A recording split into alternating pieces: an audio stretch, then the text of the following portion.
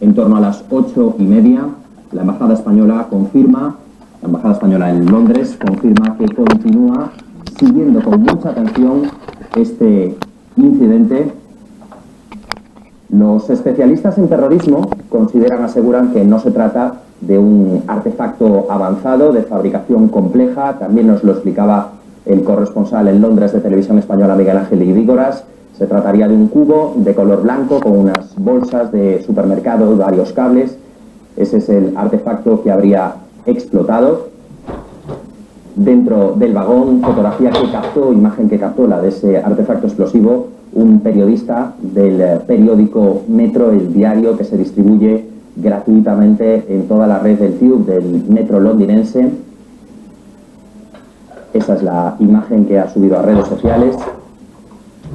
El artefacto que habría explotado con una potente luz, un flasazo, explicaban los testigos a las ocho y media de esta mañana. Después se habría producido una nube de humo en el interior del vagón y habrían comenzado a salir todos los pasajeros que iban dentro de ese convoy hasta que se produjo la evacuación ordenada, como hemos visto en directo, en torno a las 10 y 45 minutos aproximadamente se producía esa evacuación de todos los pasajeros de la zona antes de que comenzase a trabajar la policía científica. 11.27 de la mañana, estas son las imágenes que nos llegan desde allí, desde Londres. Después eh, de que se haya producido, vamos a recordar lo que ha ocurrido, una explosión en un tren, en el metro, en la capital británica, en la estación de Parsons Green, en plena hora punta, en el suroeste de la ciudad.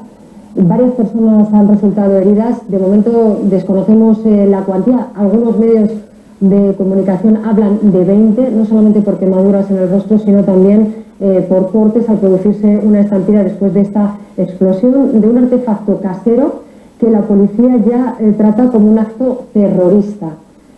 Esta es lo que nos llega hasta ahora. Vemos el vagón completamente parado, pero también veíamos, por ejemplo, en las imágenes cuando veíamos ese artefacto explosivo que había bolsos, la gente ha dejado todo y ha salido corriendo ante el temor de que se pudieran producir otras explosiones y de hecho la policía, según algún medio británico, el, diario Metro, habría desactivado un segundo explosivo en la zona y estaría buscando a un hombre armado con un cuchillo. Se ha acordonado la zona para garantizar la seguridad y hasta aquí también se han desplazado varias ambulancias para atender a los heridos.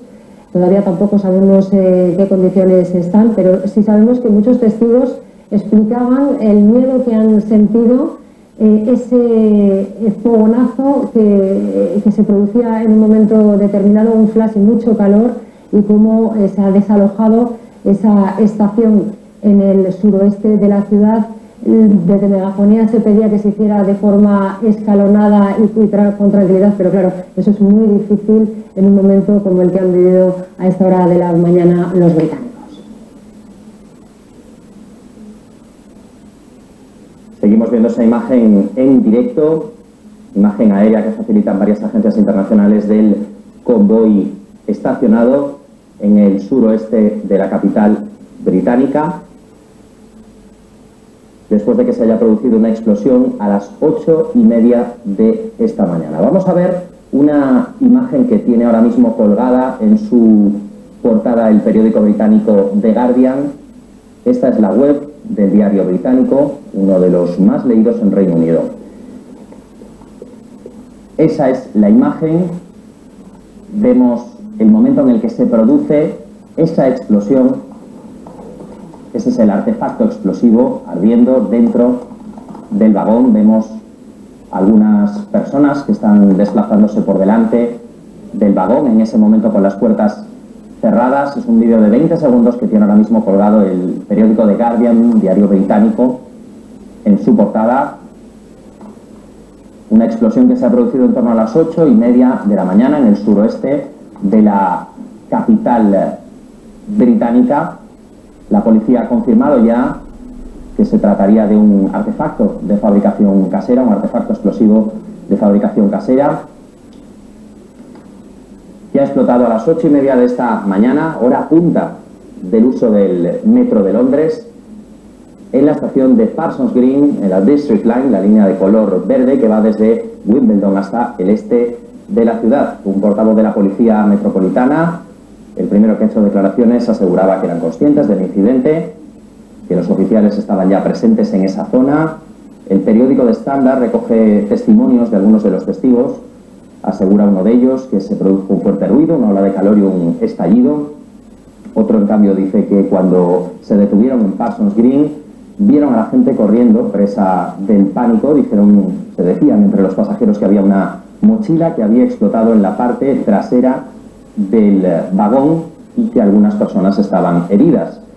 De momento no manejamos cifras oficiales, la policía sí confirma que hay varias personas heridas, de hecho en la señal en directo que estamos enseñando, que estamos mostrándoles, en emisión sí veíamos a numerosas ambulancias, efectivos eh, médicos desplazados hasta la zona. Varios medios británicos hablan de una veintena de heridos, aunque esta cifra no ha sido confirmada por el Servicio de Ambulancias de Londres. Y también acabamos de conocer que la primera ministra británica Theresa May va a presidir esta tarde una reunión del Comité de Emergencia Cobra para tratar ese atentado, ya lo califican de atentado, eh, cometido hoy en el metro de Londres, según ha informado la residencia oficial de Downing Street. Eh, no es la primera vez este año que se reúne ese comité de emergencia Cobra para tratar eh, los atentados que se producen en Londres, porque recordemos que este año ya se han producido varios ataques en, en la capital británica. Y esta tarde la primera ministra va a abordar en ese comité de emergencia cómo las medidas a tomar ante lo que califican ya como un atentado terrorista que eh, ha sido una explosión de origen casero, según explica la policía, pero se trata ya como un atentado terrorista que ha dejado una veintena de heridos en algunos medios de comunicación, no solo con heridas eh, de quemadura en el rostro, sino también después eh, eh, con cortes y, con, posibles fracturas que se han producido cuando los pasajeros de ese tren han evacuado a toda prisa el, convoy. A las 8 y 21 de la mañana se producía esa explosión en un tren de la estación Parsons Green en la línea del metro District Line cuando se dirigía al centro de la capital británica. En este punto despedimos a los telespectadores del canal internacional y seguimos en el canal 24 horas muy pendientes de todo lo que está ocurriendo en la capital británica. Tenemos tres confirmaciones por el momento de la policía británica. Acaba de informar de que en breve, lo más pronto posible, se podrá confirmar ya la causa del fuego de esa explosión que se ha producido a primera hora de esta mañana, a las 8 y 21 minutos, según han confirmado fuentes policiales, en el interior de un vagón en el metro de Londres. La policía británica también confirma que hay varios heridos, como explicaban a diarios británicos, a la prensa local, los testigos de ese ataque y confirman también, como decía Olga, que se está tratando ya esto como un atentado terrorista, como un ataque terrorista. Seguimos viendo señal en directo de ese mm, tren, de ese convoy estacionado ahora mismo en las inmediaciones de la estación de Parsons Green. La policía científica continúa trabajando en la zona.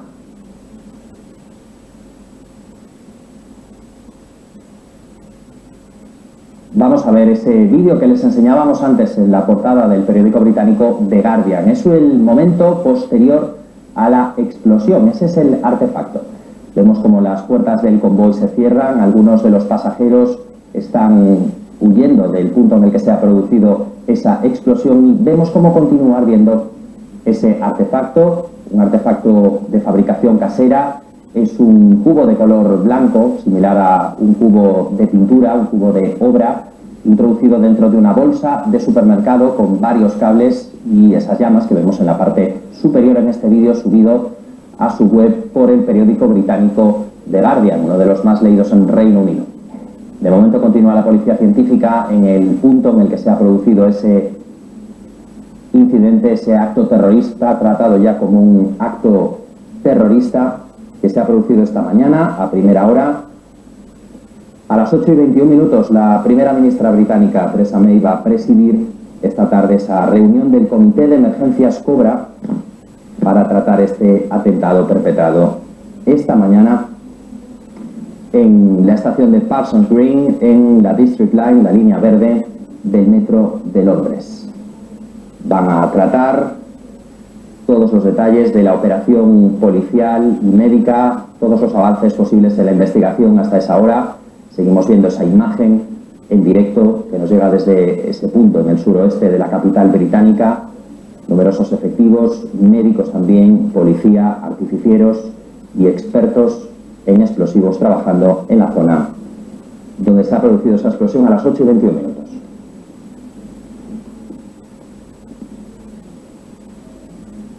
Toda la zona está acordonada, ha sido desalojada, se ha producido un, se ha producido un desalojo ordenado que hemos podido ver en directo aquí en el canal 24 horas en torno a las 10 y media de la mañana.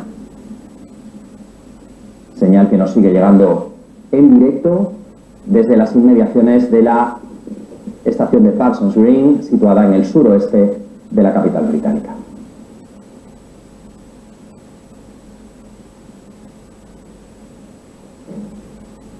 11 y 37 minutos, señal en directo. Nos incorporamos de nuevo a este relato de esta señal en directo que vemos desde Londres. Contemplamos que cada vez son más los efectivos de emergencia. La zona está acordonada para evitar eh, pues cualquier conflictividad en esa zona que está paralizada, como decimos, tras esa explosión en un vagón de metro de la estación Parsons Green de la línea District Line. Esa pregunta que teníamos a primera hora sobre la naturaleza, la magnitud de ese incidente, en un primer momento considerado incidente, ya se considera un acto de terrorismo, literalmente acto de terrorismo, así lo ha llamado la policía local británica. Y empiezan también a surgir las primeras eh, reacciones de los, eh, de los principales eh, miembros del gobierno. En principio hemos sabido esa primera llamada a la calma para no especular y también se hablaba de una información limitada por parte del ministro de Exteriores Boris Johnson. Y ahora falta también esa reunión de la primera ministra Teresa May con el eh, comité de emergencia, el llamado comité de emergencia Cobra, para determinar cuáles son los siguientes pasos y el protocolo que se va a adoptar detrás de estas primeras investigaciones de la policía científica que se encuentra en el lugar de los hechos y que, como estamos contando, cada vez son más eh, el despliegue, el operativo que se produce en torno a ese largo metro que está ahí paralizado. Recordamos que el metro de Londres es uno de los más antiguos del mundo. Y de nuevo el metro de Londres vuelve a sufrir las tarpas del terrorismo, eh, del terrorismo, de un atentado. De momento no podemos eh, ponerle apellido a este acto de terrorismo, considerado así por la policía británica.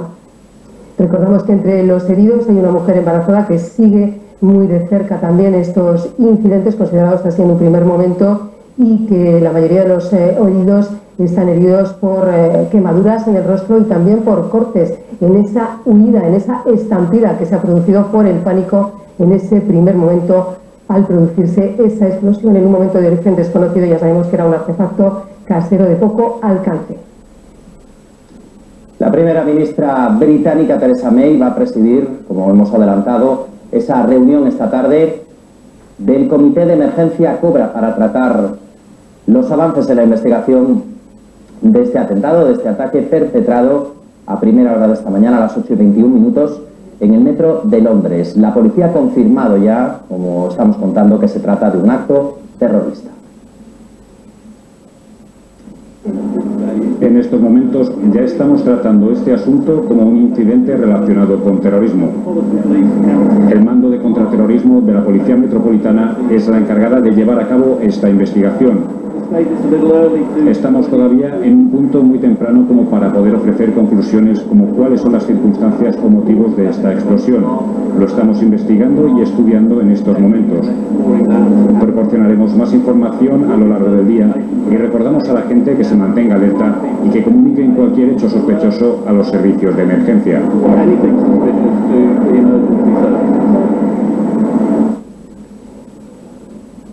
Pues ya lo han escuchado. Ahora se trata de saber cuáles son las circunstancias, los motivos, llamada una vez más a la alerta y atención a los objetos sospechosos. Es la primera llamada que se hace a los eh, ciudadanos tras este acto considerado acto de terrorismo. Recordamos también que estamos a dos días de cumplirse el primer mes del aniversario de este atentado en las Ramblas y en Cambrils.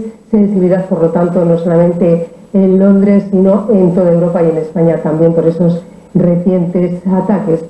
Recordamos también que uno de los últimos atentados fue en el puente de Londres, por no decir el último, y también hubo una víctima española, el joven Ignacio Echevarría, que murió en el atentado del puente de Londres. También en los alrededores del Parlamento de Londres se produjo otro atentado con otra víctima mortal, en este caso también una policía, un policía que defendía los alrededores del Parlamento de Londres. Volvemos a esa imagen aérea, seguimos en esa imagen aérea desde Londres, donde seguimos los detalles que van a tardar en conocerse, tal como acabamos de escuchar, porque están por determinarse las circunstancias, los motivos, pero eso sí, se mantiene la alerta y la llamada de atención a cualquier objeto sospechoso. Los medios de comunicación británicos han comenzado ya a recoger los testimonios de varios de los testigos de ese incidente tratado ya como un ataque terrorista. Uno de ellos aseguraba que se escucharon gritos y forcejeos entre la gente que trataba de utilizar las escaleras para poder evacuar, para poder salir de la estación. Creo, dice ese testigo, que todos resultaron heridos por el artefacto, lo que pudiese ser. Este hombre de 53 años viajaba en el tren cuando se produjo el incidente, asegura que hubo pánico mientras la gente se apartaba del convoy. Otro testigo asegura que había mucha gente cubierta de sangre y cojeando, que había un hombre con la cara ensangrentada. También a numerosas personas llorando, como explicaba Ángeles, la ciudad de Londres está muy sensibilizada con este tipo de incidentes después de los varios ataques terroristas que ha sufrido la capital británica en los últimos años. Una mujer ha resultado herida al menos, es el, último, el único dato confirmado que manejamos hay un reportero de la televisión pública británica de la BBC que habla de cortes y heridas en varias de las personas que salieron corriendo después de escuchar la explosión y habla también de escenas de pánico. Otros testigos hablan de numerosas personas corriendo por la calle tras esa estampida. Recordamos que la zona está completamente acordonada mientras continúan trabajando los efectivos de la policía, los artificieros, servicios también de médicos de emergencias que se han trasladado hasta la zona, no solo para atender a los heridos, para que puedan ser trasladados a distintos centros hospitalarios, sino también efectivos psicológicos para atender a las personas que iban dentro del convoy.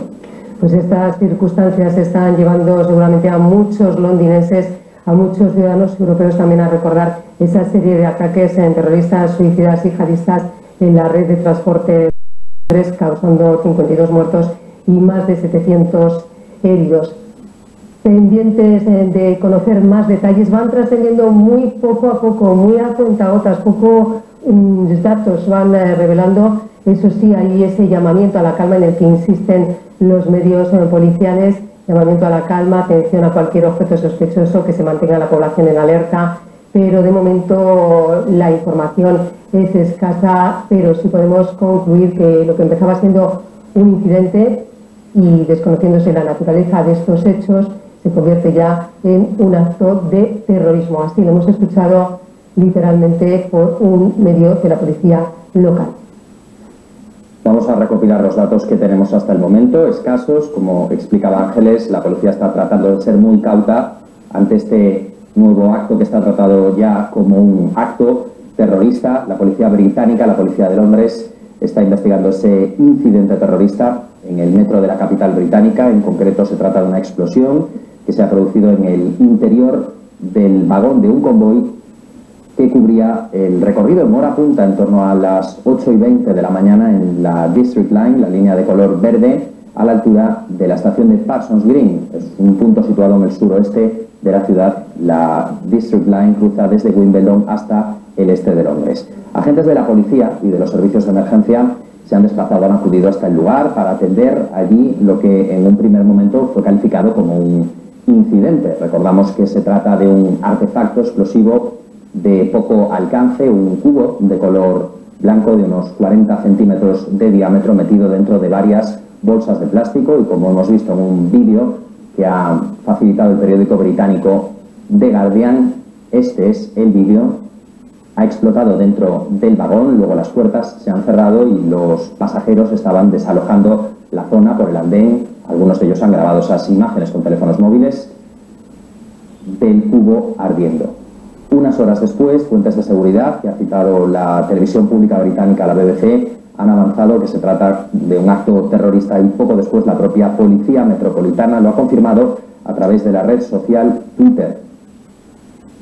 Su comando antiterrorista se ha hecho ya cargo de esta investigación después de que el incidente haya sido declarado como un acto terrorista. Hay varios heridos por quemaduras, según aseguran los testigos, también lo confirma la policía, aunque de momento no se ha facilitado una cifra de posibles personas afectadas, de posibles heridos. Sí sabemos, lo confirma a través de Twitter también el servicio de ambulancias de la capital británica que se han desplazado hasta la zona numerosos efectivos médicos para poder, poder atender a los heridos, trasladar algunos de ellos a distintos centros hospitalarios y también personal psicológico para atender a algunas personas que han sufrido crisis de ansiedad tras ese ataque a las 8 y 20 de esta mañana.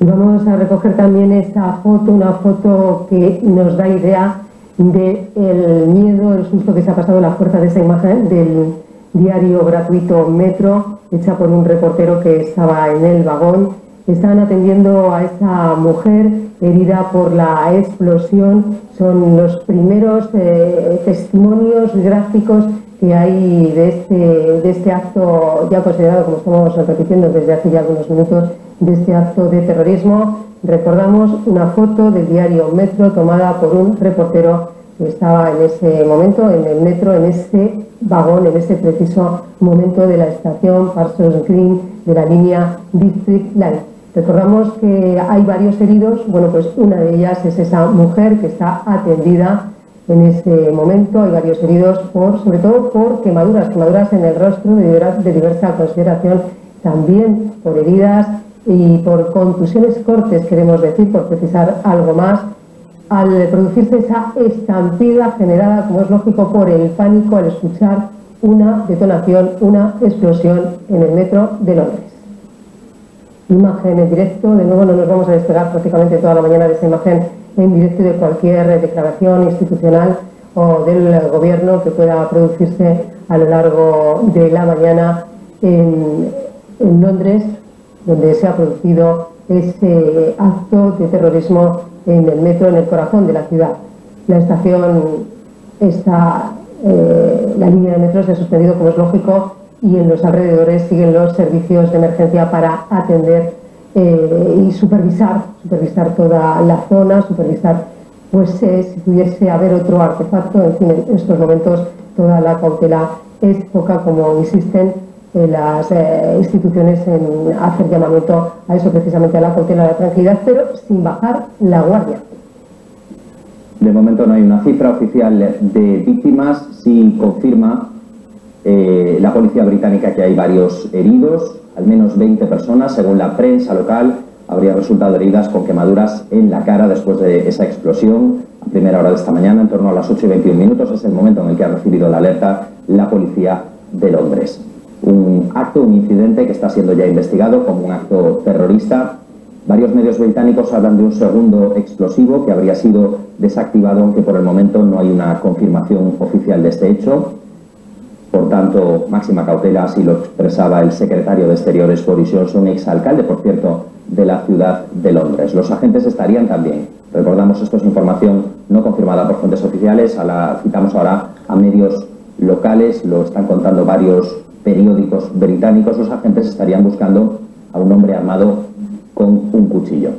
Él podría ser la persona que introdujo ese artefacto explosivo de bajo alcance, de poco alcance, un cubo de color blanco de unos 40 centímetros de diámetro metido dentro de unas bolsas de plástico que habría explotado dentro de un vagón del metro de Londres, en la estación de Parsons Green, en la línea verde, la District Line, a las 8 y 21 minutos de esta mañana. Se habría producido después de esa explosión una estampida. Esa es la fotografía subida a redes sociales por un periodista del diario Metro, el periódico gratuito que se distribuye en la puerta de las estaciones del tube del metro londinense. Tras su explosión se habría producido una estampida por los andenes de esa estación de Parsons Green en la línea verde, la District, Line en el suroeste de Londres. Pocos eh, detalles trascienden a esta hora cuando ya han pasado casi tres horas desde, este, desde estos hechos y seguimos pendientes de poder seguir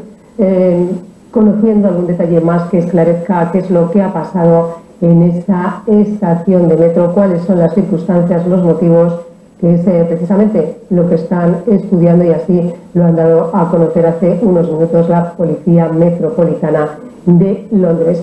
Sigue ese despliegue en la zona, un despliegue por otra parte habitual en la zona de los hechos, mientras eh, se llama a la normalidad también, porque también han dicho que los ciudadanos hagan vida normal, por lo tanto una mezcla de cautela, normalidad, no bajar la guardia, en fin, un poco una situación un poco contradictoria en la que se está viviendo en estos momentos. Perros policías de los artificieros para seguir investigando qué es lo que ha pasado en ese tren y si pudiera haber cualquier otro objeto también que pudiera originar cualquier problema. Ahora mismo todas eh, las eh, sospechas y todos los cuidados son máximos en estos momentos en Londres, golpeada una vez más por un acto terrorista. En este caso, sin víctimas mortales, al menos que sepamos, solamente hay heridos, eso sí, heridos con quemaduras de diversa consideración, sobre todo en la cara y eh, otras heridas como cortes y lesiones por esa estampida, sobre todo más que nada por el pánico que han sufrido al escuchar esa detonación en una sociedad eh, la europea que está eh, conmocionada y muy en alerta, muy sensibilizada por los ataques terroristas. Recordamos que la única declaración oficial que conocíamos esta mañana era la de Boris Johnson, exalcalde de la ciudad de Londres, ahora secretario de Exteriores de Reino Unido. Él era quien pedía calma y cautela a la hora de tratar este incidente. Horas después se empezaba a tratar ya este incidente como un acto terrorista la primera ministra británica ha dicho que los pensamientos están con las personas heridas en Parsons Green, en la estación de Parsons Green, donde se ha producido a las 8 y 20 de esta mañana esa explosión. Aseguran que los servicios de emergencia están respondiendo de forma tranquila y eficaz ante este incidente. Recordamos que toda la zona está acordonada, tomada ahora por los servicios de emergencia, los bomberos, la policía científica que ha revisado cada centímetro de ese convoy, de ese tren del metro de Londres que realizaba el recorrido de la District Line, una línea de metro que circula desde Wimbledon, desde el suroeste de la capital británica, hacia el este de Londres, por debajo del Támesis. Un tren que, como vemos, es una de las llamadas líneas en superficie, gran parte del recorrido lo realizan por el exterior, no es un recorrido subterráneo. La explosión sería de un artefacto de poco alcance, un cubo de color blanco, así lo podíamos ver en ese vídeo que ha distribuido el periódico The Guardian, vídeo grabado por uno de los pasajeros que iba dentro de ese tren. Se trata de un cubo de color blanco metido en unas bolsas de plástico. Ese sería el artefacto que habría explotado a las 8 y 21 minutos de esta mañana. La policía científica, como vemos, sigue trabajando en Parsons Green Station para determinar las causas de este incidente, tratado ya como un acto terrorista. Esta tarde, la primera ministra británica, Theresa May, va a presidir el gabinete Cobra, que es el encargado de supervisar todas las operaciones de la lucha antiterrorista en Reino Unido, un gabinete del que hemos hablado mucho en los últimos tiempos después de los últimos ataques sufridos por la población británica, por el Reino Unido. De repente, uno de los eh, ataques recientes, uno de los duros ataques que ha sufrido fue el atentado de Manchester con 19 muertos y alrededor de 50 heridos. Recordamos que fue en el concierto de la cantante Ariane Grande que se saldó, recordamos esa cifra, 19 muertos y alrededor de 50 heridos. Este atentado, el atentado de Manchester, fue el peor después del primer atentado mortal y con mayores eh, dimensiones que fue el atentado del metro en 2005.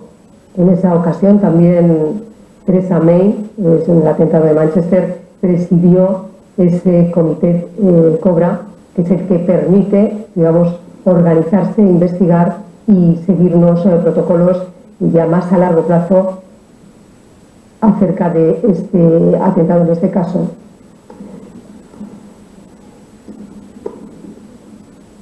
Bueno, pues eh, seguimos, eh, como ven, muy pegados a esa señal en directo en Londres y ahora vamos a hablar con nuestro corresponsal en la capital británica, Miguel Ángel y de Horas.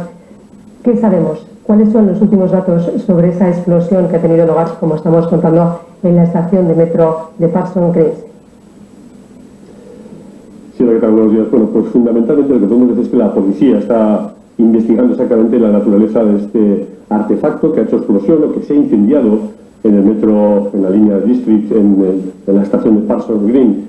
Porque como evidencian las fotografías que han tomado algunos de los testigos que estaban en el lugar en el momento del suceso, se trata de un cubo de plástico, parecía un cubo de pintura, envuelto también a su vez en una bolsa de plástico, la que asomaban varios cables y que ha comenzado a arder o que ha, llegado, que ha llevado a cabo una detonación. Se desconoce exactamente si es que llevaba un detonador en el interior para hacer eh, explosionar su contenido o si se trata eh, de una bomba casera, que es lo que en principio parece que está diciendo la policía que se trata. En cualquier caso, sí que es un eh, artefacto colocado con intención de causar el terror, es decir, de un acto terrorista, es el, como lo califica la policía británica. Y como decimos, fundamentalmente lo que trata de esclarecer ahora es exactamente la dimensión de este artefacto colocado que se ha dejado en un vagón de la línea District y sobre todo que en el momento de hacer explosión, como digo, o su detonador o cuando menos la bomba incendiaria que podía llevar en su interior ha alcanzado a algunas de las personas que estaban en el vagón y sobre todo también ha generado el pánico entre los viajeros, entre las personas que estaban en la estación.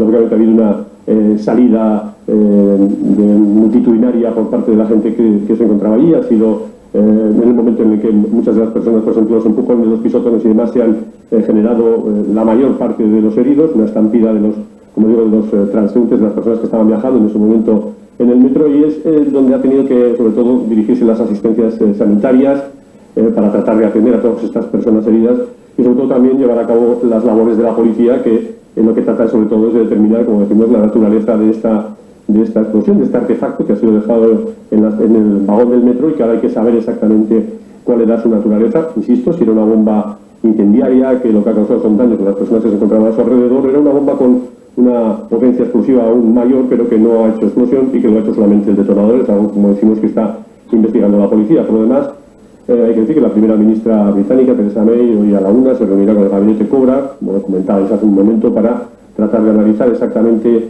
lo sucedido y sobre todo tratar de transmitir calma a la población británica que, como estáis comentando, vive de sobresalto en sobresalto en los últimos meses. Este atentado sin duda ha recordado al que tuvo lugar también en el metro de Londres en julio de 2005, el 7 de julio de 2005, también en varios autobuses de las líneas de transporte del público del de la capital británica con un balance de 52 muertos y más de 700 heridos. Y fundamentalmente lo que hay que decir es que la población británica, sobre todo la londinense, pues eh, vive estos últimos meses, insisto, de sobresalto en sobresalto, pues con noticias como la de hoy que afortunadamente no ha causado víctimas mortales, pero habrá que ver exactamente si la naturaleza o la intención de quienes han dejado el artefacto explosivo, esta bomba incendiaria en el metro de Londres, eh, lo que perseguía era generar una tragedia todavía mayor. Miguel Ángel, eh, están trascendiendo muy pocos datos sobre la investigación policial. Si hemos podido comprobar cómo la policía científica, agentes de la policía científica, han revisado el interior de ese vagón y se ha cordonado toda la zona. ¿Qué sabemos sobre cómo se está desarrollando ese dispositivo de emergencias? Bueno, pues básicamente, como comentaba, en el momento en que se ha producido la estampida de los pasajeros, de la gente que estaba en el metro, en una hora punta, a las 8 y 20 de la mañana, hora local, y son muchas las personas que utilizan el metro en esos momentos para trasladarse a los colegios, a sus centros de trabajo. Y como digo, era una, es una estación que, estaba siendo ocupada en esos momentos por muchos transeúntes. Y lo, que, lo primero que, ha hecho, que han hecho las asistencias sanitarias es tratar de atender a las personas que han resultado heridas en esta estampida, en esta salida eh, multitudinaria de la gente a través de las, escaleras y de la estación de, de Parsons Green. Y la segundo es, eh, lo segundo que ha llevado a cabo la policía es llegar hasta el nivel donde se encuentra el vagón, donde está la estación en concreto y donde llega la, District Line, la, línea de metro de la de District, que es la que llega hasta esta estación, y tratar de conocer exactamente en el vagón lo que, lo que ha ocurrido, qué es lo que ha pasado y sobre todo analizar con detalle, como decimos, el artefacto explosivo, la bomba casera que ha sido dejada, ese cubo de plástico que estaba en el metro, dentro de la propia, del propio vagón, eh, muy cerca de una de las puertas de salida, ese cubo de plástico, envuelto también en, una bolsa de plástico, un conocido supermercado, y con eh, varios eh, cables que asomaban a su exterior, lo cual hacía pensar, lógicamente, mm, que se trataba de un artefacto y que, ha generado el pánico, lógicamente, entre las personas que, se encontraban allí. Así que lo que está haciendo la policía sobre todo es analizar con sumo detalle todos los elementos que tiene ahora en el vagón, todos los elementos que hay en la estación y sobre todo llama a los testigos presenciales, a quienes han podido ver eh, detalles de la persona que ha dejado ese cubo en el vagón, de las personas que podían estar implicadas en la colocación de este artefacto, pide eh, sin duda la colaboración ciudadana, la colaboración de los testigos para saber qué es lo que ha podido saber, qué es lo que ocurrir. En cualquier caso, todas las estaciones de metro de Londres en general y todos los lugares públicos en esta ciudad y en el país en general cuentan con numerosas cámaras de seguridad y sin duda se analizarán pormenorizadamente los, eh, la grabación de estas cámaras en el, en el metro, en el vagón, eh, para saber exactamente eh, quién es o quién es el que ha dejado este artefacto, este cubo incendiario en, el vagón y saber exactamente con detalle de qué, de qué se trata. ya lo tratan, lo están analizando, lo decimos como un acto terrorista, en ese sentido la policía no tiene ninguna duda, los autores buscaban generar una masacre, si no era con una estampida general de la gente, si con una explosión o quién sabe si con la detonación de un artefacto mucho más potente dentro del propio vagón, y eso es lo que está ahora analizando la policía y lo que eh, iremos sabiendo en las próximas horas, sin duda.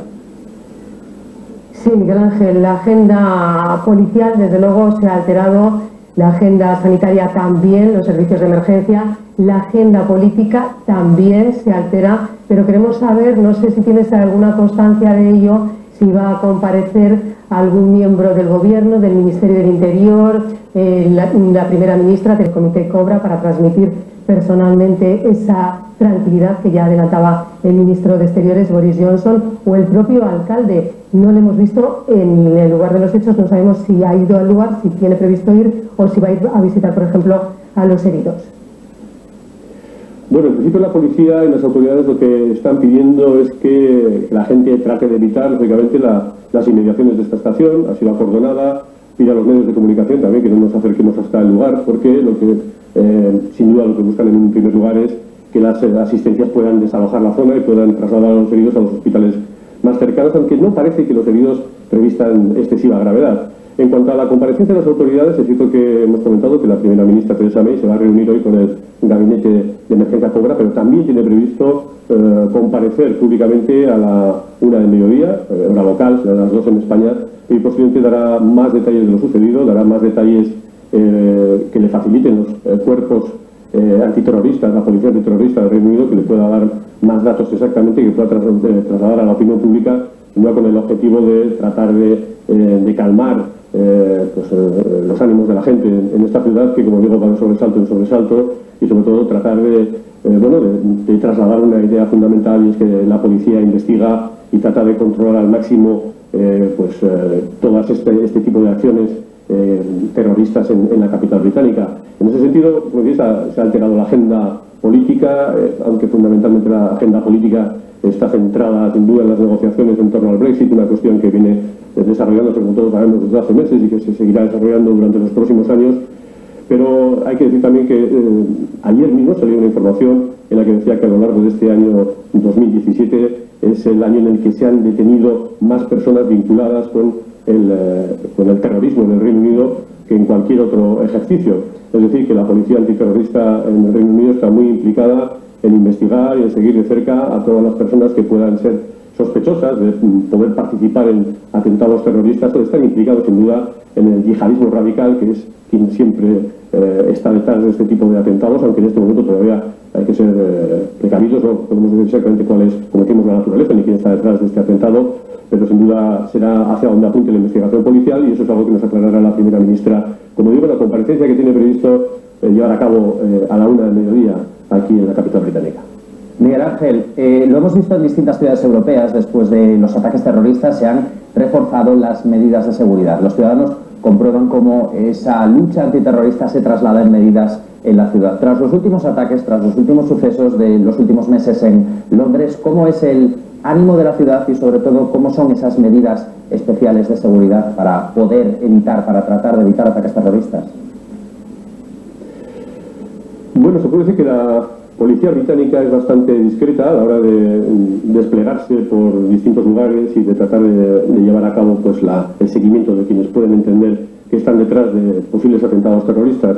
En ese sentido, básicamente los ciudadanos de este país donde sufren, de alguna manera, eh, las medidas policiales más estrictas son sin duda en los medios de transporte, pero es en los aeropuertos y en los lugares donde, y en los puertos también, cuando se van a embarcar hacia, hacia otros países, en los ferries que cruzan el Canal de la Mancha o que se dirigen incluso hacia España, se han extremado las medidas de seguridad, los controles son mucho más exhaustivos, también en los aeropuertos y en eh, los vuelos que son eh, susceptibles de venir de lugares donde pueda llegar gente eh, bueno, pues, que ha participado con el Daesh en, la, guerra en Siria, en el Oriente Medio en general. Son fundamentalmente donde centra la investigación de la policía pero eh, aquí en el Reino Unido todos son conscientes de que la guerra se desarrolla sin duda a través de las redes, a través de Internet. Es ahí donde la policía centra sin duda su investigación. Sabe que es donde se desarrolla la mayor parte de la información que luego utilizan eh, para posibles atentados. Los grupos terroristas se comunican a través de esos medios. La gente sabe que es Internet el medio por el que lo hacen y es donde se está centrando fundamentalmente la labor y el esfuerzo de las fuerzas de seguridad aquí en el Reino Unido. Pero como digo, la mayor parte de la población británica donde sufre sin duda eh, las medidas de seguridad más estrictas, más duras, son en los, aeropuertos y en los puertos y en algunas estaciones de tren, pero tampoco eh, de una manera exagerada, tendríamos que decir, sino que bueno, de una manera un tanto discreta eh, por parte de la policía, que también, pues lógicamente, en, en campos de fútbol, donde hay aglomeraciones importantes, lleva a cabo un despliegue mucho más amplio, aunque es casi parte de una rutina de la policía en este país, pero lo que tiene que ver con eh, la lucha contra el terrorismo sin duda se desarrolla en Internet, se desarrolla en las redes, se desarrolla en los medios, de las eh, formas de comunicarse a través de la telefonía móvil, etcétera, etcétera, y es ahí donde el gobierno británico ha insistido que va a seguir desarrollando, como decimos, una labor mucho más exhaustiva tratando de bueno, pues desmantelar cualquier intento de atentado terrorista en este país. Miguel Ángel Idigoras, última hora desde Londres. Gracias por atender las preguntas del canal 24 horas. Vamos a seguir contigo a lo largo de la mañana. Bueno, ahora continuamos con el relato de esta noticia, también del resto de los titulares del día. Seguimos en directo, son las 12 y 7 minutos. Continúa ahora la información con Olga Lambea.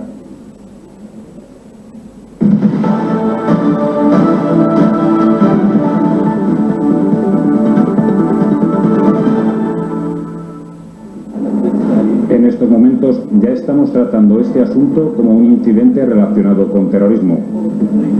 El mando de contraterrorismo de la Policía Metropolitana es la encargada de llevar a cabo esta investigación.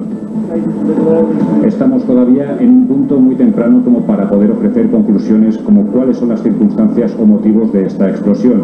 Lo estamos investigando y estudiando en estos momentos. Proporcionaremos más información a lo largo del día y recordamos a la gente que se mantenga alerta y que comuniquen cualquier hecho sospechoso a los servicios de emergencia. Atentado terrorista en Londres, ya lo han escuchado varias personas, han resultado heridas al explotar un artefacto de origen casero en el metro de la capital británica en la estación de Parsons Green, en el suroeste de la ciudad. El metro ha sido desalojado, la estación cerrada y la línea District ha sido suspendida. La policía investiga la naturaleza de este artefacto y la primera ministra británica, Theresa May, va a comparecer ante los medios de comunicación a la una de la tarde y esta tarde preside el Comité de Emergencia Cobra para analizar las medidas a seguir.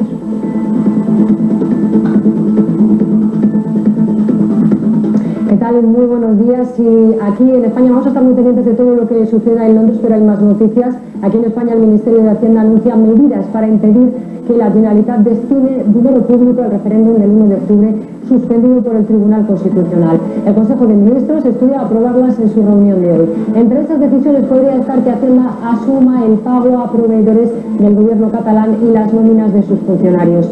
Además, Hacienda ha pedido por carta a la Generalitat que siga informando semanalmente de sus gastos después de que el vicepresidente catalán, Oriol Junqueras, haya comunicado al gobierno que dejarán de hacerlo y solo remitirán los informes mensuales.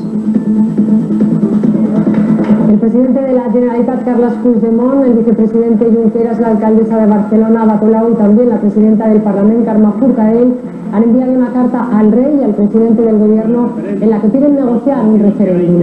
En esa carta aseguran textualmente que no dialogar es incompatible con la resolución de los problemas.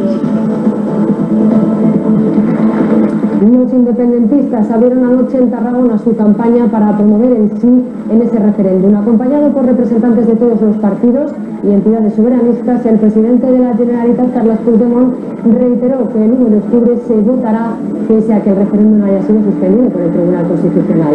A ese acto acudieron unas 8.000 personas. Ha llegado a un acuerdo con la Generalitat para que el 1 de octubre se pueda votar en Barcelona sin poner en riesgo a los funcionarios. De momento, la alcaldesa no ha dado detalles de cómo se hará. La Fiscalía se ha querellado contra los alcaldes que presiden las asociaciones independentistas municipales y contra los cinco miembros de la Sindicatura Electoral de Cataluña, una especie de junta electoral para el referéndum del 1 de octubre. Corea del Norte vuelve a lanzar otro misil balístico. Esta vez el proyectil ha sobrevolado el norte de Japón. El misil de medio alcance ha caído en el Pacífico a 2.000 kilómetros de la costa nipona. Estados Unidos y Japón lo califican de provocación y el Consejo de Seguridad de la ONU ya ha convocado para hoy una reunión de urgencia. El lanzamiento se produce cuatro días después de que Naciones Unidas impusiera a Corea del Norte duras sanciones por el ensayo nuclear del pasado 3 de septiembre.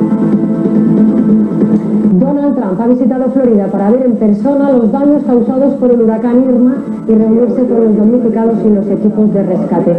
La prioridad sigue siendo recuperar el suministro de agua y luz en las zonas más afectadas y comenzar con las tareas de desescombro y reconstrucción. En Perú el Congreso ha retirado la confianza al gobierno de Fernando Zavala y ahora el primer ministro está obligado a dejar el cargo junto al resto de su equipo de gobierno. En 72 horas deberá formarse un nuevo gabinete a instancias del presidente Pedro Pablo Kuczynski. Si su propuesta no es aceptada por el Parlamento, el presidente podría convocar elecciones legislativas. Y el 15 de septiembre este canal, el canal 24 horas, cumple 20 años como ventana informativa permanente en España. Buenas tardes. Canal 24 Horas inicia en estos momentos sus Han sido hasta ahora 173.000 horas de emisión en las que los ciudadanos han podido estar informados en cualquier momento de lo que sucede en el mundo. Política nacional e internacional, cultura, ciencia, economía, nuevas tecnologías, acontecimientos que han requerido horas y horas de información en directo, como el 11S y el 11M, el tsunami de Japón o los recientes atentados de Barcelona. Desde 1997, el canal 24 horas se ha ido adaptando a un mundo cada vez más globalizado, ofreciendo la información vía satélite, por cable y por los dispositivos móviles conectados a Internet a través de su web. Han sido 7.300 días acompañándoles y eh, prometemos seguir haciéndolo muchos más.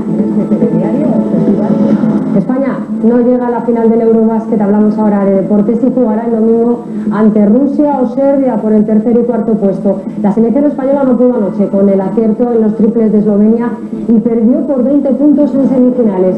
El partido del domingo será la despedida de Juan Carlos Navarro de la mejor generación del baloncesto español.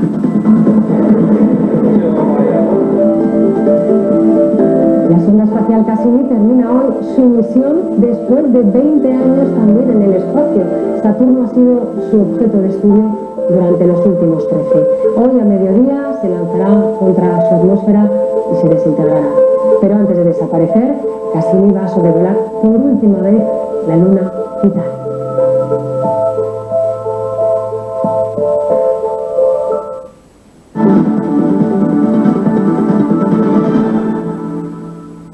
Atentado terrorista en Londres. Varias personas han resultado heridas al explotar un artefacto de origen casero en el metro de la capital británica, en la estación de Parsons Green, en el suroeste de la ciudad. Esta es la imagen que nos llega en directo a esta hora, varias horas después de que se produjera este suceso. Ha sido sobre las 8 y 21 de la mañana. El metro ha sido desalojado, la estación está cerrada y la línea District ha sido suspendida con todo lo que eso conlleva porque imaginamos que también va a generar complicaciones en, en la ciudad. La policía investiga la naturaleza de este artefacto, busca a las personas que lo han dejado y por tanto piden la colaboración ciudadana. Incluso han explicado que el artefacto no estalló del todo y que eso ha podido ser la causa de que no haya ocasionado daños más graves, solo ha ocasionado heridas en la cara y en el cuerpo de varias personas, las personas que estaban cerca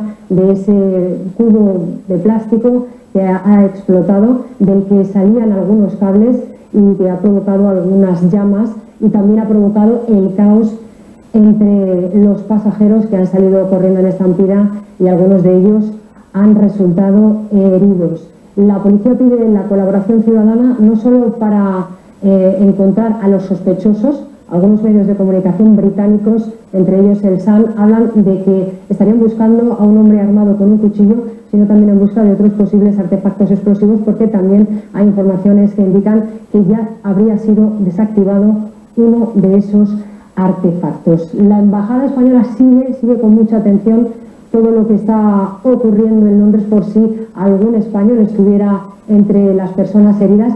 Según algunos medios de comunicación, entre esos heridos estaría un niño que iba a la escuela o una mujer embarazada, pasajeros que iban a su quehacer diario en plena hora punta en esta estación de Parsons Green en el suroeste de la ciudad. La, ministra, la primera ministra británica, Theresa May, va a comparecer a la una de la tarde para explicar la información que tienen hasta este momento y después va a presidir una reunión del Comité de Emergencia Cobra para tratar el atentado cometido en ese metro de Londres. La policía ya ha confirmado que es un acto relacionado con terrorismo. En estos momentos ya estamos tratando este asunto como un incidente relacionado con terrorismo. El mando de contraterrorismo de la Policía Metropolitana es la encargada de llevar a cabo esta investigación. Estamos todavía en un punto muy temprano como para poder hacer conclusiones como cuáles son las circunstancias o motivos de esta explosión. Lo estamos investigando y estudiando en estos momentos. Proporcionaremos más información a lo largo del día y recordamos a la gente que se mantenga alerta y que comuniquen cualquier hecho sospechoso a los servicios de emergencia. Es un nuevo golpe a la capital británica. Vamos a saber si ha habido algún impacto tras esa explosión en las bolsas. Inma de Bolsa de Madrid, buenos días. ¿Alguna reacción en los parques europeos? Buenos días. Bueno, hay que decir que la Bolsa de Londres es la que está cayendo con más fuerza ahora mismo, más de un 1%, pero también esto tiene mucha relación con la libra que está disparadísima esta mañana, ha llegado a tocar el cambio de dólar y 36 centavos, está a un euro con 13 y eso tiene siempre un efecto muy penalizador en la Bolsa de Londres porque como les contamos en otras ocasiones, en esa bolsa hay muchas empresas exportadoras y cuando su divisa se revaloriza, pues se tiende a pensar que les va a costar más vender y eso hace bajar el valor. O sea que no podemos vincular directamente eh, esa caída importante de la Bolsa de Londres con el atentado. Quizá tenga más que ver con, el, con esa revalorización fuerte que estamos viendo de la libra, porque es lo que suele ocurrir en otras ocasiones. Y también por lo que estamos viendo en el resto de las plazas europeas que caen con mucha moderación. Ya esta mañana habíamos visto también que se mantenía la tranquilidad después de ese misil que ha lanzado de nuevo Corea del Norte traspasando el territorio japonés. Así que en principio no se ve una reacción eh, clara, no podemos vincular ni siquiera esa caída de, la Bolsa de Londres con lo que está ocurriendo ahí en esa estación de metro. Tranquilidad en el mercado, las primas de riesgo también están tranquilas. El bono el del Reino Unido ha repuntado un 5% hasta el 1,30, pero también está subiendo lo mismo la rentabilidad de la deuda germana a 10 años. Así que en principio, como viene ocurriendo ya con los últimos atentados terroristas que estamos viviendo en Europa, el mercado de momento no parece que se resienta. Gracias, Emma. Vamos a estar con la mirada puesta durante toda la mañana y todo el día allí en Londres, pero vamos a seguir el relato de la información, entre ellos el Consejo de Seguridad de la ONU, que vuelve a reunirse este viernes con carácter de urgencia después de que Corea del Norte haya lanzado otro misil intercontinental. Las alarmas se han disparado en Japón, ya que ha cruzado nuevamente su territorio.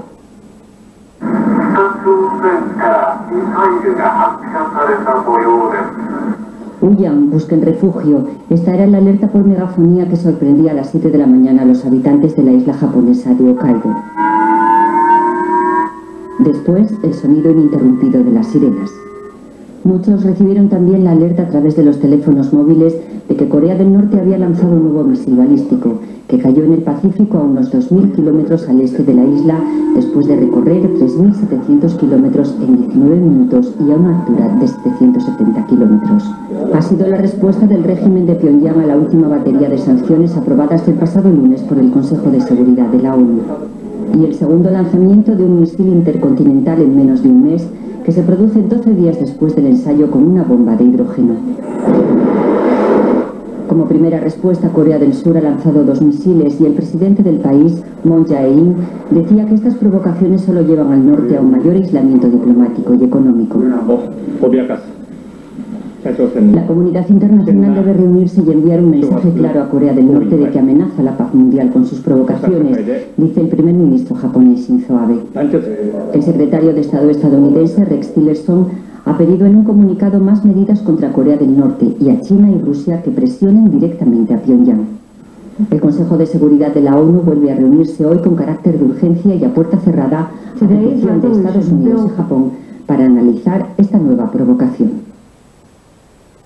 Estados Unidos impone nuevas sanciones a 11 personas y entidades de Irán, entre ellas algunas asociadas a la Guardia Revolucionaria Islámica. Según Washington, habrían facilitado ataques informáticos contra el sistema financiero estadounidense y contribuido al conflicto civil en Siria. Tras la llegada de Donald Trump a la Casa Blanca, la nueva administración considera que el acuerdo sobre el programa nuclear iraní es malo para los intereses estadounidenses. El presidente estadounidense Donald Trump ha promulgado una resolución del Congreso que rechaza a los grupos que incitan al odio, entre ellos los nacionalistas blancos, los supremacistas, el Ku Klux Klan y los neonazis. Es la primera respuesta del Congreso a la violencia racista del 12 de agosto en Charlestonville, Virginia, cuando un neonazi mató a una mujer e hirió a 20 personas al arrollar con su vehículo a los participantes en una manifestación antirracista.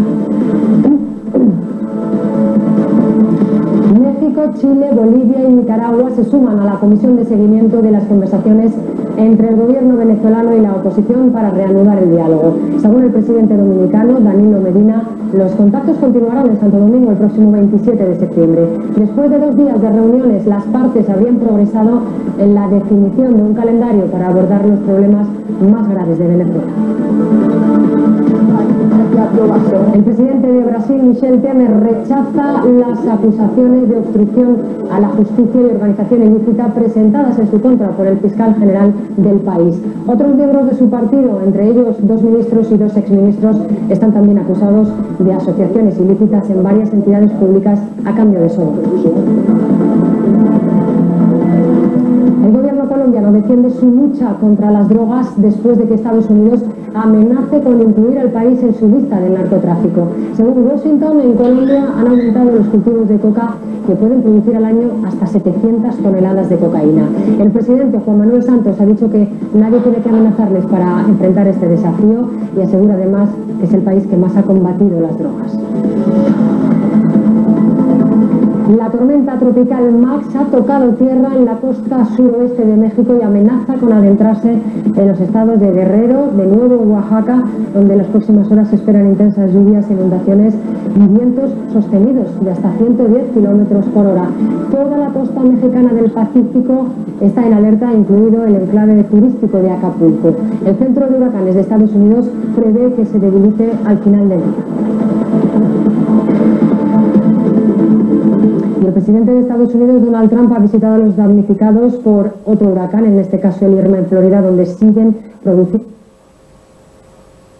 Curioso es que este planteamiento de suspender la actividad parlamentaria lo propuso la CUP eh, hace unos días, el Junts dijo que no, que la actividad tenía que seguir y curiosamente Junts Sí ha vuelto a tener que tragarse sus palabras y aceptar las condiciones, en este caso totalmente inadmisibles, de la de que finalice, de que se pare la actividad parlamentaria. También le tengo que decir que no lo van a conseguir a 100%. Nosotros no tenemos mayoría, los constitucionalistas no tenemos mayoría en la mesa del Parlamento y por tanto acabará imponiéndose el criterio de Junts por Sí y la CUP, pero lo que no van a evitar es que en aquellas comisiones, concretamente, yo hablo por el Partido Popular, que preside las comisiones parlamentarias de trabajo que preside el Partido Popular, estas no se puedan convocar. Ya le adelanto que aquella comisión, como es la Comisión de Agricultura que preside el Partido Popular, vamos a pedir, vamos a, solicitar la reunión de la misma y yo espero que el resto de partidos constitucionalistas hagan lo mismo. Como mínimo es un valor simbólico que es lo que tenemos que hacer en estos momentos. Señor García Dual, le pido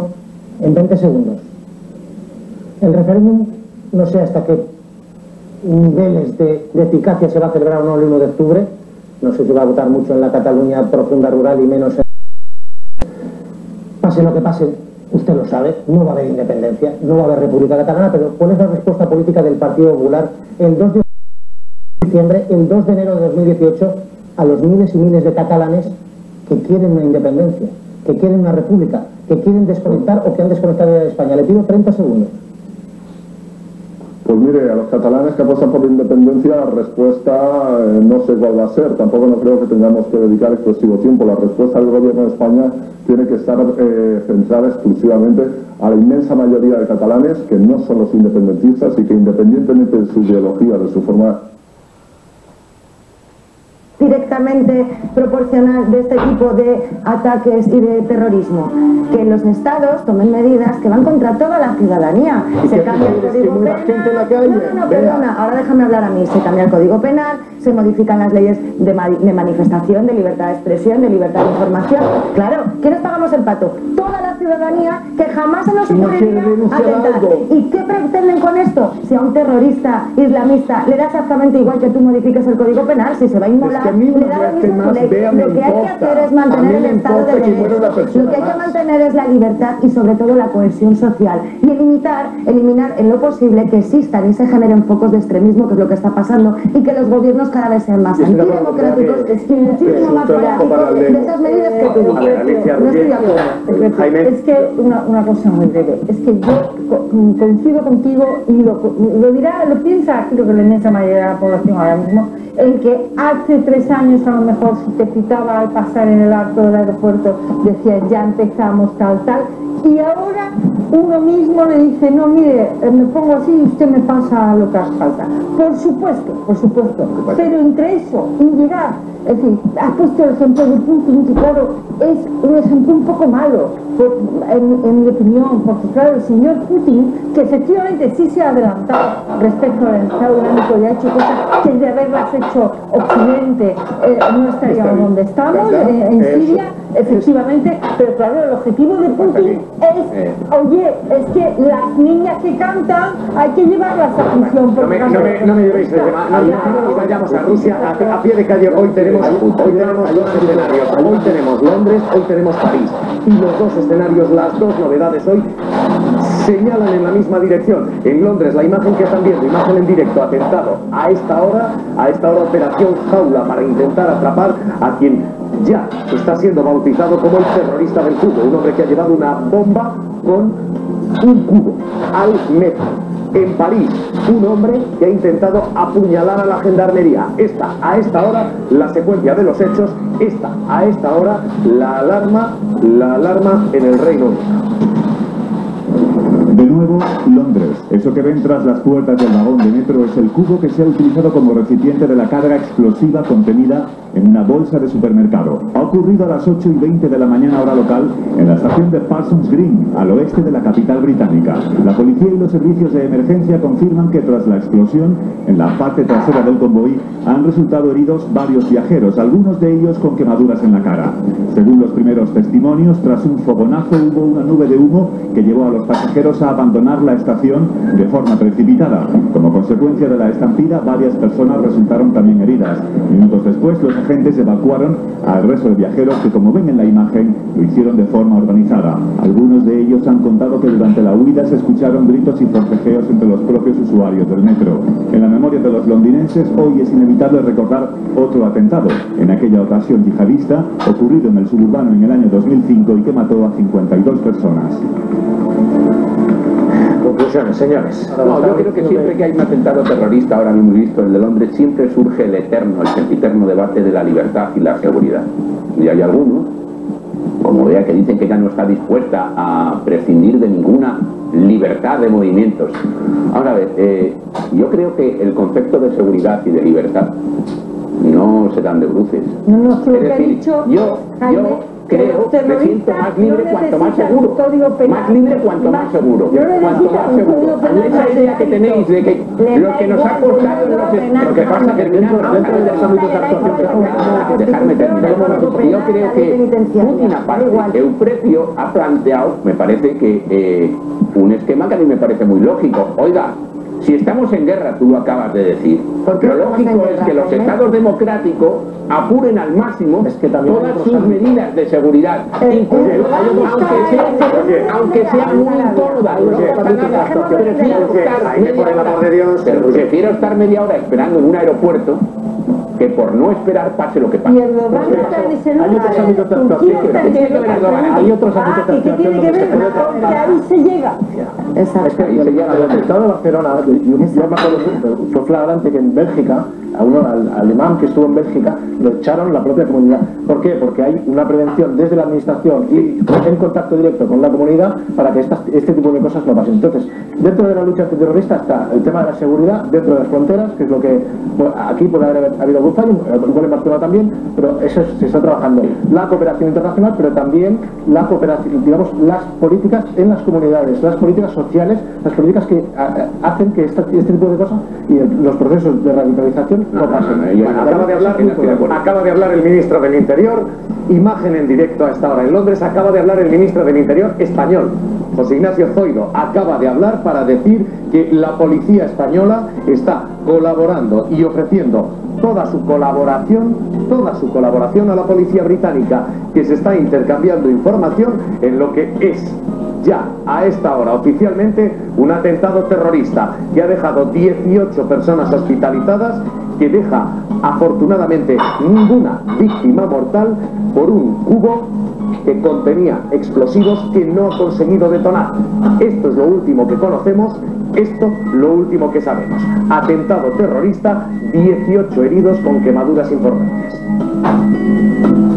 Les vamos a contar novedades, insisto, seguimos hoy pendientes del pulso de esta noticia a esta hora, pero, pero a esta hora hay también, hay también batalla en lo político aquí, hay batalla en lo político en España, porque el Consejo de Ministros está reunido a esta hora para suspender de facto la mm, habilidad, el margen financiero de la Generalitat de Cataluña para gestionar sus propias cuentas. La Generalitat de Cataluña comentó ayer y comunicó ayer al gobierno que no va a justificar sus gastos. Moncloa ha respondido que entonces no va a recibir ingresos, no va a recibir impuestos. De momento, Lucas Goicoechea, el Consejo de Ministros, a punto de retirar a Cataluña margen de presupuestos, margen de ingresos, margen de cesión de fondos. Cuéntanos.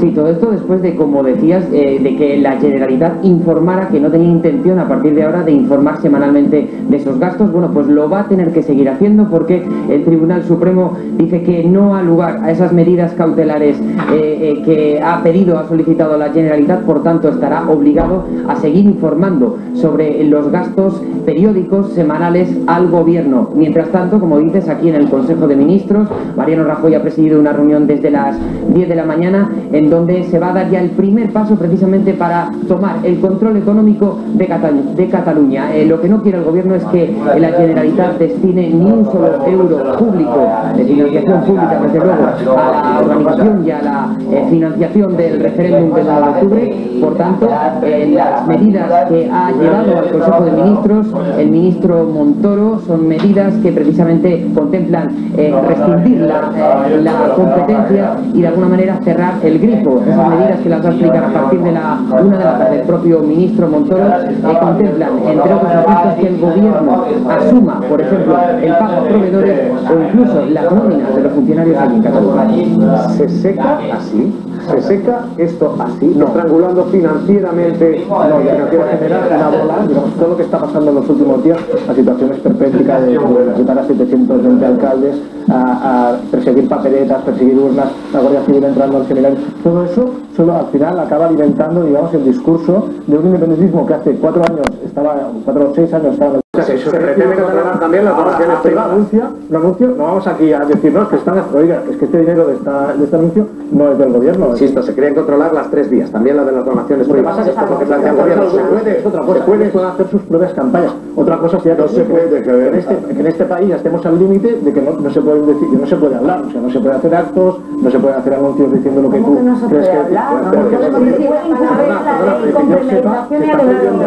No se puede incumplir la ley con premeditación una y no pasa nada, no Perdona, se va a poder hablar. Se puede hablar, se puede incumplir la ley, se va a es buscar decir, a no pasa nada. se la gente absolutamente porque nada. permite que la gente... A ver, yo creo que ya ha quedado clara mi posición. Yo no estoy a favor de la independencia. Creo firmemente que tiene que haber un referéndum porque hay una masa crítica de gente en Cataluña que quiere irse y tú no puedes encarcelar a la mitad de la población, aunque sea la mitad de la población, que por cierto el PP yo creo que empezó con cierta templanza y ya se le ha ido la olla, perdonadme la expresión literal, coloquial, porque sabe que eso le da votos en el resto. No, ahora me vais a, me vais a dejar cagar. Pero en un país donde el facherío más facha.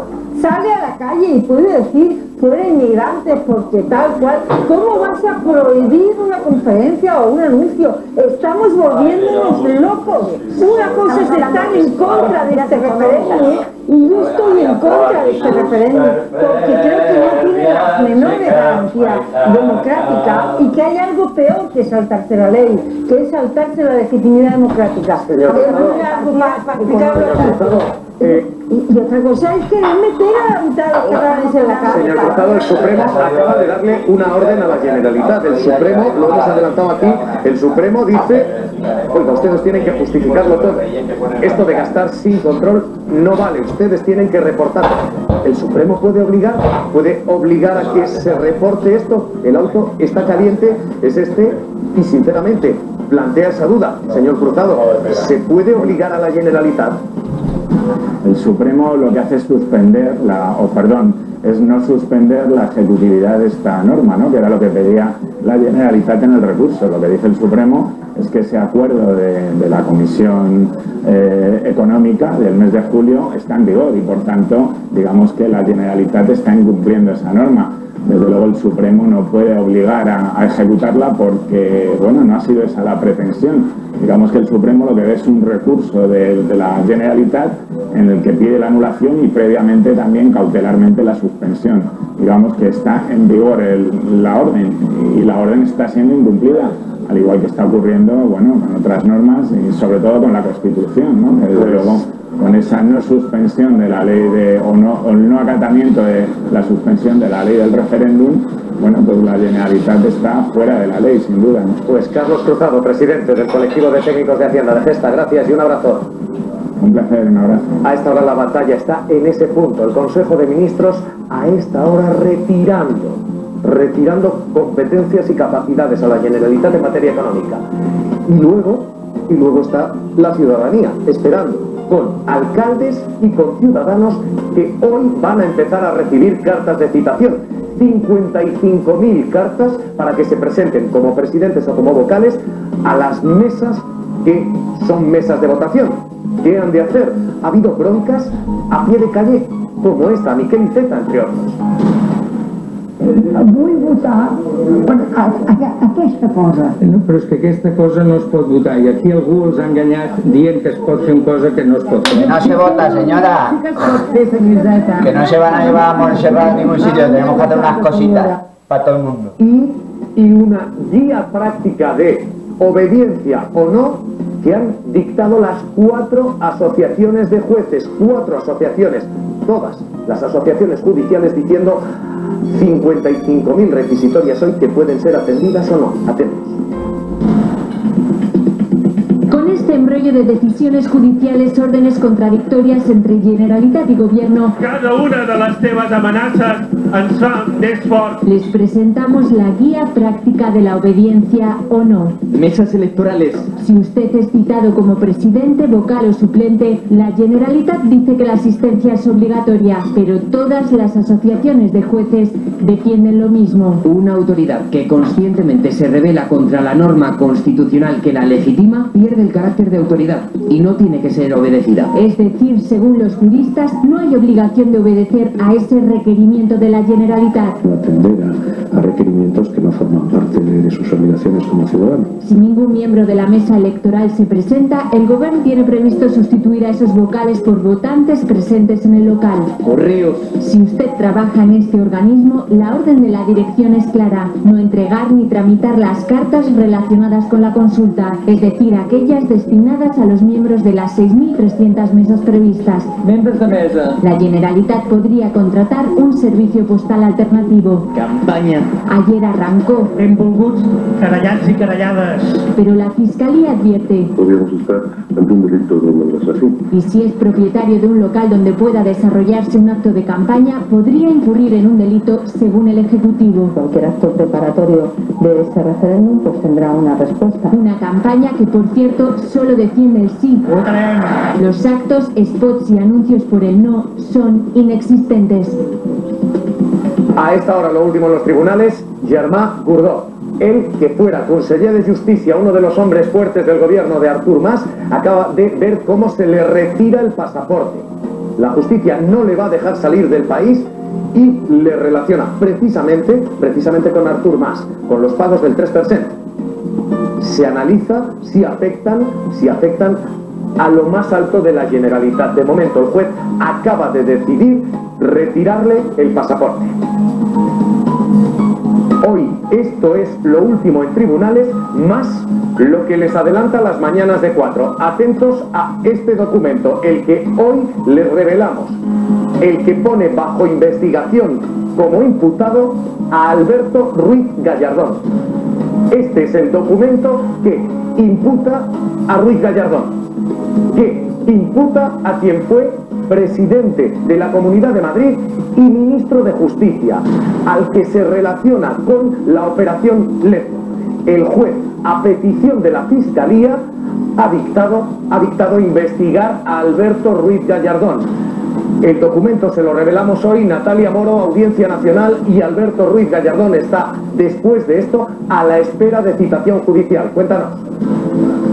Así es, Javier Alberto Ruiz Gallardón, a la espera de citación judicial. Este auto es en el que él consta como investigado Alberto Ruiz Gallardón, el que fuera presidente de la Comunidad de Madrid, alcalde de Madrid y ministro de Justicia, investigado por la compra de INASA, por la compra de la filial colombiana asociada al canal de Isabel II. En este auto de ocho páginas fechado a 19 de enero de 2017 se citan hasta ocho delitos organización criminal, prevaricación, malversación, fraude, cohecho, tráfico de influencias, corrupción y blanqueo. Un auto, Javier, por el que Alberto Ruiz Gallardón, como decías, podrá ser citado a declarar en cualquier momento.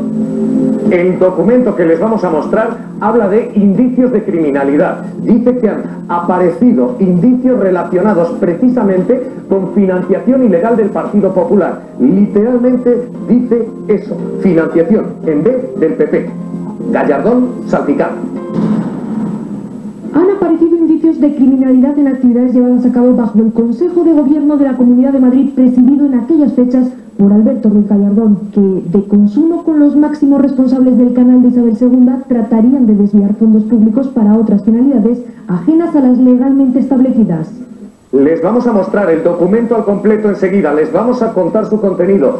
Pero, Alicia, hay una frase clave más, se dice para que Gallardón se defienda, porque Gallardón está bajo sospecha ahora mismo. Sí, sí, de hecho este auto, que es de, enero de este año, es un auto muy importante en el caso porque es el que permitió, para empezar, que la Fiscalía eh, pudiera registrar todo el canal de Isabel II segunda en busca de los papeles de esta empresa. Esta es una empresa adquirida en 2001, en fin, con tropelías varias, presuntas, perdón, eh, eh, y autorizadas por el gobierno que presidía Gallardón. Eh, y lo que está hablando eh, la sección cuarta de la audiencia, es decir, ya no estamos hablando de un juez, Javier, sino de un tribunal de apelación que para que todo el mundo lo entienda es el que está por encima del juez de instrucción y es una sala que lo forman tres jueces. Hay una lista de delitos que podrían afectar a Gallardón que empiezan en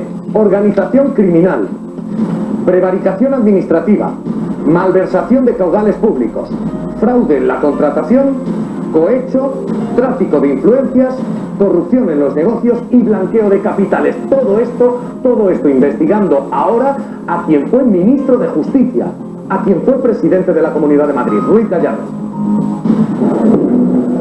Esta conversación colocó a Gallardón bajo la lupa de la justicia. Alberto hizo una operación que no sé si estaba Alberto, pero desde luego su gente sí, que fue comprar el grupo en América.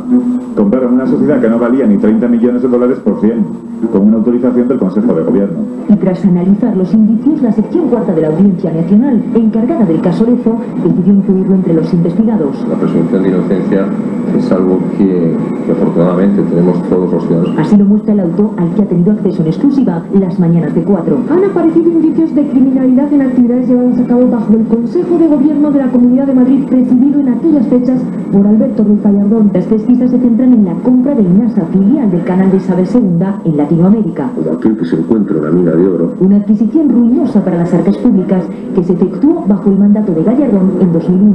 Larga vida al canal de Isabel II. Unos días antes de que el escándalo que mantiene a Ignacio González en prisión saliera a la luz, la Guardia Civil pedía intervenir el correo corporativo de Gallardón y su información tributaria. El auto recoge las sospechas de que Gallardón y los máximos responsables del canal de Isabel II presuntamente habrían tratado de desviar fondos públicos para otras finalidades ajenas a las legalmente establecidas. La Audiencia Nacional quiere saber el papel que cada miembro del Consejo de Gobierno de la Comunidad de Madrid tuvo al proponer y adoptar el acuerdo del 29 de noviembre de 2001.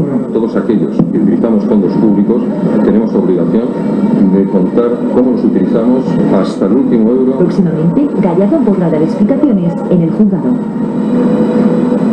Ana Terradillos, ¿qué tal? Muy buenos días. ¿Qué tal, Javier? Buenos días. Ana, investigado quien fue ministro de Justicia, quien fue responsable de Justicia, Alberto Ruiz Gallardón. Sí, la verdad es que digamos que el nombre de Gallardón estaba bajo sospecha, no solamente en la comandancia de la Unidad Central Operativa, que es quien lleva esta investigación, sino eh, yo creo que en todo el mundillo judicial, porque salen esas conversaciones ¿no? que acabamos de escuchar ahora mismo. ¿Qué tenemos ahora con este auto que estáis dando en exclusiva? La confirmación de que esta persona está imputada y que va a ser, digamos, o que tendría que ser citada a declarar al menos judicialmente. El auto es muy importante. Decía Alicia Gutiérrez eh, que era importante primero porque ese auto es el que eh, desarrolla o insta a ese registro que hace la Fiscalía en el canal de Isabel II. Es cierto, eso es lo que permite a la Fiscalía registrar el canal de Isabel II. Pero ese auto además es muy importante porque eh, durante esos ocho páginas hay un momento en el que directamente la Sala de lo Penal dice a la UCO que tiene que investigar a todo el Consejo del Gobierno de Madrid, entre los que se encuentra Gallardón, con cosas de propiedades a nivel nacional y también internacional. Es decir, la investigación ahora mismo se está centrando a nivel nacional, las cosas que puede tener Ruiz Gallardón aquí en España, pero es que también se han instado comisiones rogatorias para saber el dinero que puede tener fuera en el extranjero relacionado, claro, con ese fraude, ¿no? ese presunto desvío de fondos públicos eh, en la compra que se hizo con INASA, la filial del canal de Isabel II. Terradillos, Gallardón lo sabe.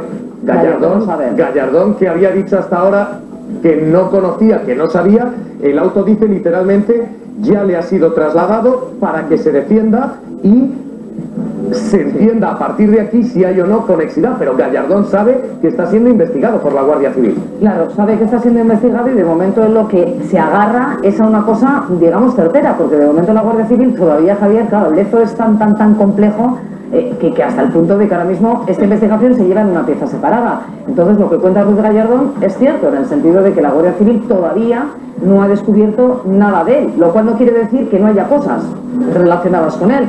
Eh, bueno, eh, la Guardia Civil, como te digo, está investigando y de momento ni tiene el resultado de las comisiones rogatorias internacionales que son importantísimas. Acuérdate, por ejemplo, que con el tema Granados lo vimos. Granados llegó a ser detenido, pero en ningún momento pudimos decir que estaba imputado hasta que llegó el resultado de aquella comisión rogatoria. Y en este caso nos podríamos encontrar con un ejemplo pues muy similar.